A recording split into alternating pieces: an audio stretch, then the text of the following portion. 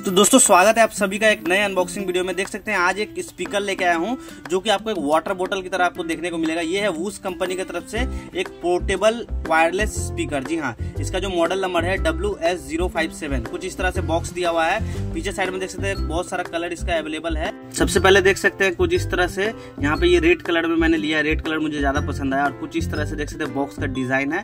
आप अगर बॉक्स को देखेंगे तो जैसे लग रहा है वाटर बॉटल है तो आप अपना बैग वगैरह में आराम से कैरी कर सकते हैं। पीछे में देख सकते हैं आपको।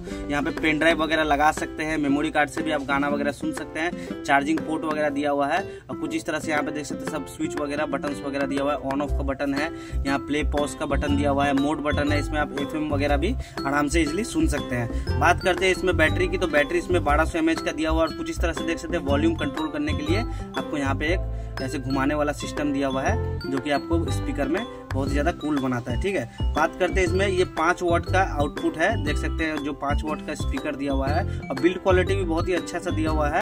प्ले टाइम की बात करें तो मिनिमम आप एक चार्ज में अगर दो ढाई घंटा आराम से चल जाता है, ठीक है? और बात करते हैं, मैं तो आपको प्रेफर करूँगा कि इसको चार्जिंग में लगा के आप यूज़ करें तो बहुत ज़्यादा ही इसका बैकअप वगैरह जो है अच्छा देता है, ठीक है? ओवरऑल बात करें इस प्रोडक्ट की तो इसका जो प्राइस रखा हुआ है प्राइस भी बहुत सस्ता है और इस प्राइस रेंज के हिसाब से मुझे जो साउंड है वो भी अच्छा लगा, क्योंकि इसका बिल्ड क्वालिटी वगैरह बहुत ही अच्छा है। इसका जो प्राइस दिया हुआ है पाँच सौ छः सौ रुपए के अंदर में आपको मार्केट में मिल जाएगा। बिल्ड क्वालिटी बहुत ही अच्छा है डिज़ाइन वगैरह अच्छा है और साउंड क्वालिटी भी इसका बहुत ही अच्छा है।